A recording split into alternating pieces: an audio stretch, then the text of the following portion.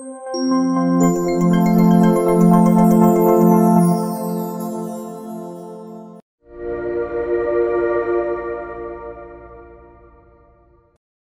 сайн байцгаана уу?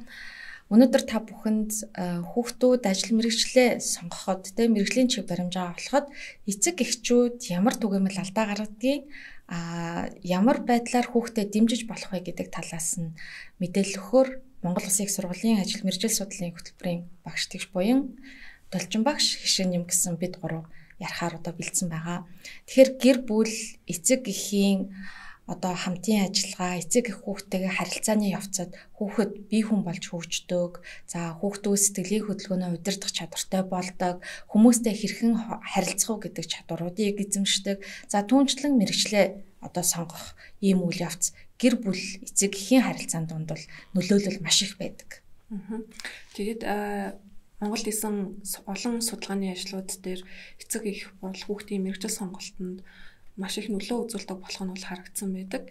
За ер нь бол сүүлийн жилүүдэд манай хөтөлбөрөөс хийсэн судалгаанууд дээр ч гэсэн ээж аавын одоо санал бодлыг одоо хүүхэд хүлээн авах ээж аавынхаа санал болгосноор мэрэгчлээ сонгох байдал нь бол нэлээд багагүй хувийг эзэлж байгаа байна гэдэг нь бол харагдсан байгаа.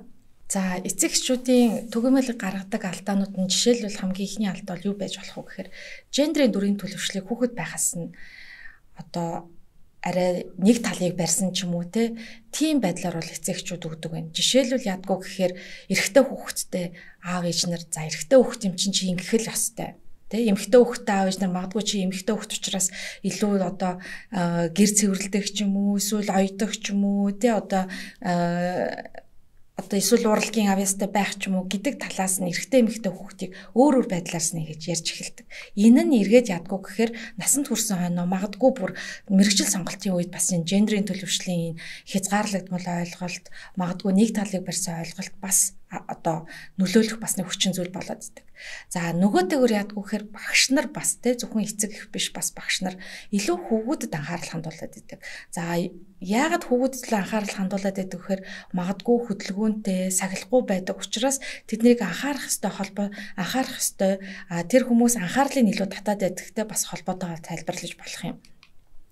За түүнээс гадна судалгаагаар юу гэж гарч ирсэн бэ гэхээр ер нь бол багш эцэг эхчүүд хөвгүүдийг одоо хөвгүүдэд тийм сөрөг хариулт үзүүлэхтэй хөвгүүдийг зэмлэх одоо загнах ч юм уу те тийм байдлыг үзүүлэхтэй 33% нь хичээлтэй холбоотой асуудлаар 67% нь хичээлээс хамааралгүй бусад одоо зүйлүүдэд идэг.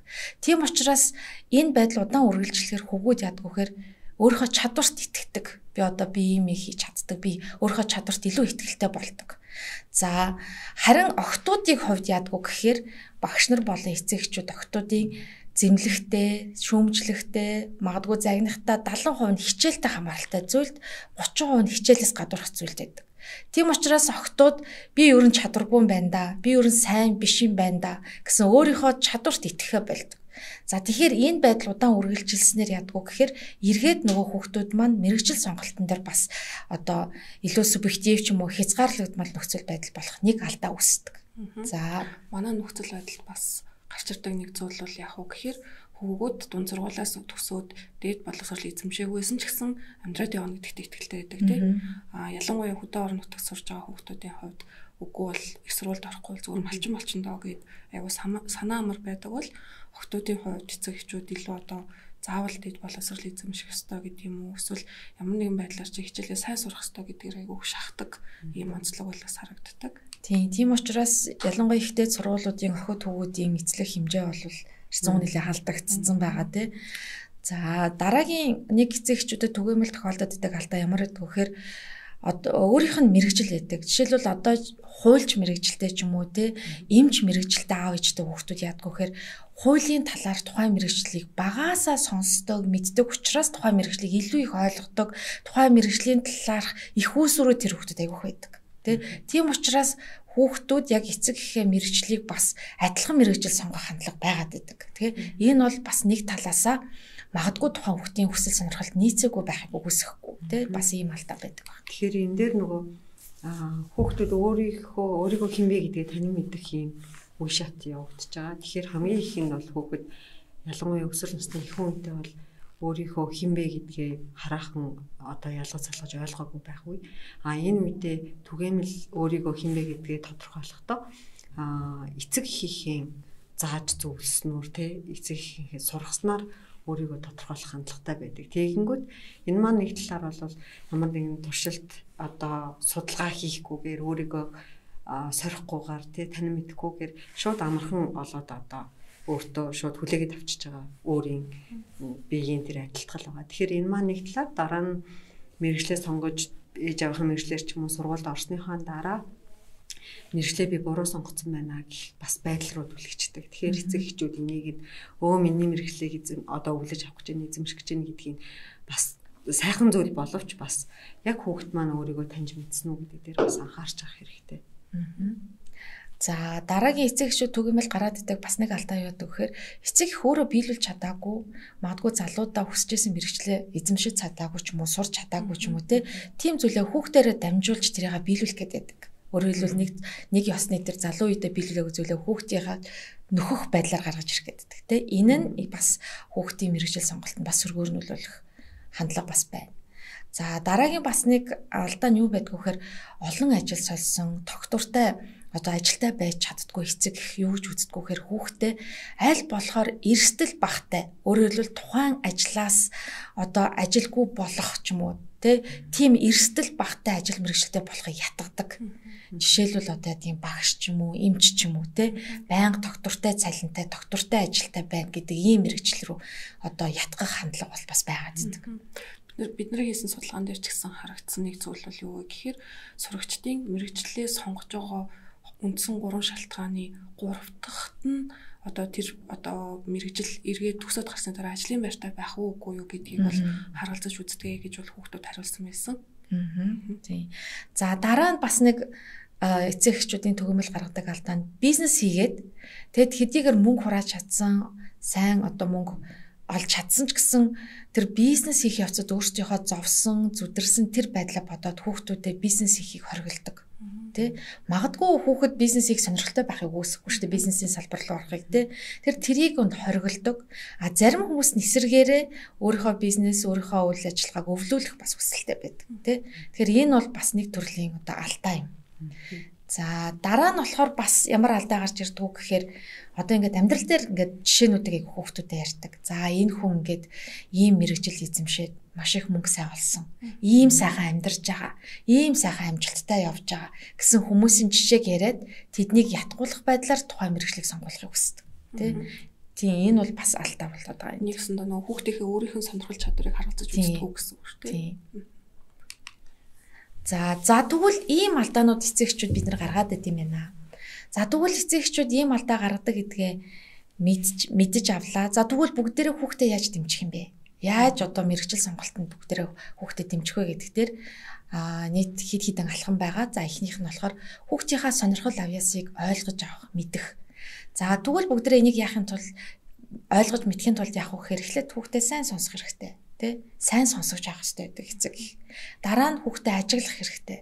Ажиглахдаа яах вэ гэхээр өдөр тутмын үйл ажиллагаа хийх, өдөр тутмын үйлдэлүүдийн, өдөр тутмын зүйлүүдийг ажиглаад манай хүүхэд юу гэлүүх сонирхоод байгаа юм. Тэгээ юун дээр авьяастай бэ гэдгийг нь олж харахыг хичээх хэрэгтэй.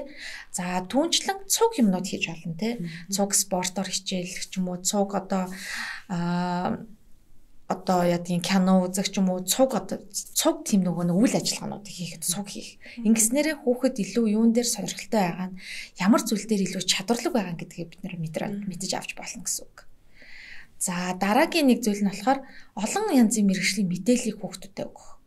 За энийг бас хоёулаа цуг юм те. Янз бүрийн мэрэгжлийн талаарх бичлэгүүд байдаг, кинонууд байдаг. Тэ эднэрийг бол хамтдаа үзэх, тэ хамтдаа тэр зүйлийн талаар судлах.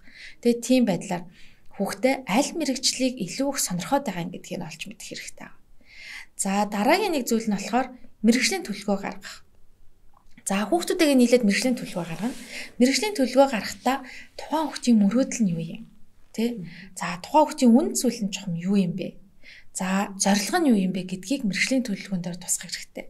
За үүн дээр мэдээж мөнгө сайн олох зүйлийг бас орхидуулахгүй байл бас бол тэ бас зүгээр тэ За тэгээд а манай зарим эцэг эхчүүдийн бас онцлог харагдаг. Өө миний хүүхэд одоо нөгөө юу ч сонгосон аав чинь чамайг дэмжнэ гэд нэг талаараа ингээд хүүхдэд дэмжиж байгаа юм шиг байгаад байдаг тий.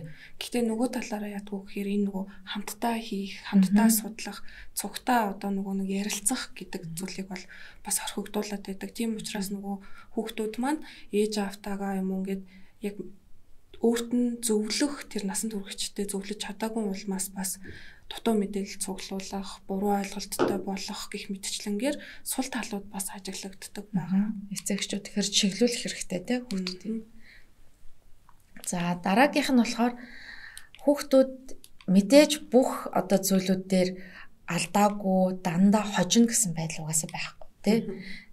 Одоо ялна гэсэн байдал одоо тийм ялалт авна амжилттай байна гэсэн байдал байдаг учраас алдаа гарах, ялагдал түлээх ч юм уу тийм байдалтай нүүр тул сурах хэрэгтэй байдаг. Тэгэхээр ямар нэгэн байдалд одоо амжилтгүй болох, ямар нэгэн байдлаар алдаа гарах гэдэг маань эргээд тухайн хүүхдэд одоо тэр хүүхдийг илүү сэтэлжүүлэх дахиад дараагийн одоо сорилттой нүүр тулахад бас нэг одоо чухал зүйл болдог гэдгийг багаас нь ухааруул сурах хэрэгтэй байдаг те. Тэгэхээр нөгөө хүүхдүүд бол ерөнхийдөө л байнга би амжилттай явна гэдэг сэтгүүтэй байдаг. Тэрнээсээ болоод ингээд нөгөө стресс те магадгүй төгшүүр үсэх хандлагатай байдаг. Тэгэхээр энийг бол эцэгчүүд бас чиглүүлэх хэрэгтэй санагдав. Бас нэг сул тал манай эцэгчүүдэд харагддаг. Тэрний юу вэ гэхээр нөгөө буруутгадаг алдааных нь хариуд те. Хүүхэд алдаа гаргавал тэрийг нь буруутгаснаар хүүхдэд өөрт нь нөгөө нэг алдаа гаргах болохгүй гэсэн нэг тийм хатуу ирмэлцлэл бий болдог. Энэ нь ирээдүйд ирээдүйд өөрөө ингээд бүх юмыг алдаагүй зөв хийдэг байх гэсэн тийм төгс байдал тэмүүлсэн одоо сэтгэл зүйн хувьд бас асуудал бэрхшээлтэй тулгарч эхэлдэг. Өөртөө сэтгэл ханамжгүй, амьдралдаа сэтгэл ханамжгүй тийм хүн болгоход нөлөө үзүүлдэг учраас бас хүүхдээ нөгөө алдаага хүлээн зөвшөөрдөг. Тэгээд тэрэн дээрээ өөрийгөө буруутгахгүйгээр харин суралцах юм аа олж хардаг. Одоо бол одоо олж харж чаддаг тийм хүн болоход нь эцэг эхийн нөлөө бас их байдгаа гэдгийг санаж авах хэрэгтэй. Тэгэхээр бас нөгөө бүхэд алдаа гарахаас айгаад юмд оролцоо болчдөг. Оролцохгүй бол алдаа гарахгүй юм чинь тий. Тэгэхээр эсвэл нөгөө оролцож байгаа үйл ажиллагааныхаа ач холбогдлыг бууруулцдаг. Тэ энэ нэг чухал биш байсан юм чинь ингээд юм хамгаалах аа ерөөсөө хамгаалдаг юмд оролдож үзгээ болчдөг. За дараа нь хүүхдийнхаа үнд зүйлийг зөв чиглүүлэх гэдэг зүйл гарч байгаа. Тэгэхээр нөгөө мэрэгжил сонголт гэдэг маань зөвхөн мөнгө сайн олох гэдэг зүйл биш ээ. Энэ бол тэ тухайн хүүхдийн хүсэл, мөрөөдөл, амьдралын зорилго, тэ цаашид яах вэ гэсэн одоо үнд зүйлтэй нийцэх ёстой учраас бид нар яг тэр хүүхдэд зөв үнд зүйлийг бий болгох хэрэгтэй тэ одоо ядгийн ажил дээр гарах юм бол яаж хүмүүстэй шудраг байдлаар хандах юм? Ямар чиг шугамтай байх юм? Ер нь чиний одоо үнэт зүйл яах юм? Гэр бүлийн үнэт зүйл нь юу юм? Тийм магадгүй нийгмийн үнэт зүйл юу юм? Залуучуудын үнэт зүйл юу юм гэдгийг хүүхдэд багаас нь зөв чиглүүлж өгөх хэрэгтэй байдаг. Тийм тэгэхээр ер нь бол ингээд судалгаа гарч тэр амьдрал дээр ч тэр үнд зүйл нь одоо яг зөв чиглээгүй үнд зүйлийг арай буруугаар ойлгоцсон тийм одоо залуучууд тийм хүүхдүүд бас байдаг те. Тэгэхээр энэ дээр эцэгчүүд бид нар бас анхаарах хэрэгтэй байгаад байгаа. За дараагийн нэг чухал зүйл нь болохоор бие даан шийдвэр гаргахад одоо сургах те бие даан шийдвэр гаргахад туслах байдаг те. Энэ бол эргээд нөгөө мэрэгжил сонголттой бас салшгүй холбоотой юм зүйл байна. Тэгэхээр эдгээр 6 зүйл нь болохоор эцэгчүүд хүүхэдтэй мэрэгжил сонголтууд сонголтын үед нь хүүхэдтэй одоо дэмжлэг үзүүлэх эцэгчүүдийн одоо оролцоог бол хэлж байгаамаа тий.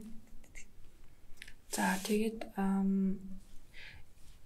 олон одоо судалгааны үр дүнгуудыг нэгтгэж харах юм бол Монголд нь ерхий боловсролын сургуулийн сурагчдтай эцэг эхчүүд хүүхдүүдтэйгээ мэрэгч сонголтын асуудлыг ярихад ярилцдаг нөлөө үзүүлдэг хүмүүс хэвээрээ байгаа гэдгийг бол бид нар харуулсан тухай эхэлж дурдсан. Тэгээд а гэхдээ яг хизээ хідэн настад нь нөлөөх нөлөөлөд вэ гэдээ харахаар ер нь бол 13 14 настай буюу ерхий боловсролын сургуулийн дунд ангид байхдаа хүүхдүүд эцэг эхтэйгээ мэрэгжлийн талаараа илүү их зөвлөлддөг юм байна гэдэг нь бол харагдсан байгаа. А харин түүнээс хойш нас нэмээд өөрөө олон талын мэдээллүүд цуглуулад өөр бусад хүмүүстэй ярилцаад эхлэх тусмаа ээж автаагаа ярилцж байгаа энэ байдал бол маш эрчимтэй буурч байгаа. Тэгэхээр одоо мэрэгчлээ сонгох сонгох үед нь эсвэл сургуулаа сонгох үед нь одоо ярилцах биш харин 13 14 настайгаас нь дунд ангиас нь эхлүүлээд ярилцах нь хамгийн оновчтой одоо шийдэл шүү. Тэгээд мэдээж хэрэг энээс өмнө ярилцвал мэдээж хэрэг сайн Гэхдээ гол нь ээж аваас хамгийн түрүүнд анхаарах ёстой, хүлээх ёстой зүйл бол эхлээд хүүхдээ сайн ойлгохыг хичээгээрэй.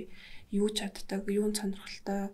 За тэгээд цаашаа ингээд хүүхд маань өөрөө яг ямар мэрэгжлийн одоо үйл ажиллагаанд өөрт нь илүү тохиромжтой вэ гэд зам төлөвийн талаар ч юм уу өөрөө та байнга ажиглаад хүүхдтэйгээ ярилцаад байх тусмаа илүү ихээр хүүхдэд танин мэдэх боломжтой болно гэж зөвлөмөр байна. За. За анхаарлаа хандуулсанд баярлалаа. За баярлалаа.